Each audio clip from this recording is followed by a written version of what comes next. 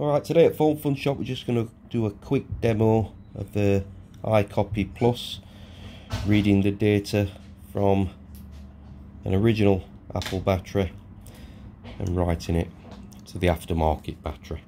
Okay, so first of all we connect the cable to the iCopy to power it up.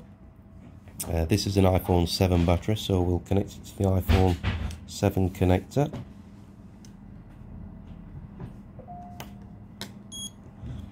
Okay, it's detected fine. It says it's an original battery. So what we're going to do, we're going to press read to read the data. It's read successfully. So we're going to disconnect that battery.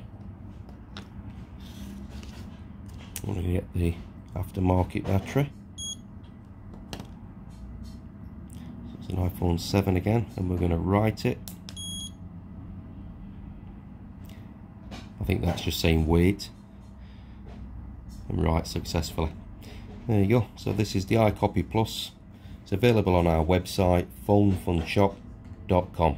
Thanks for watching.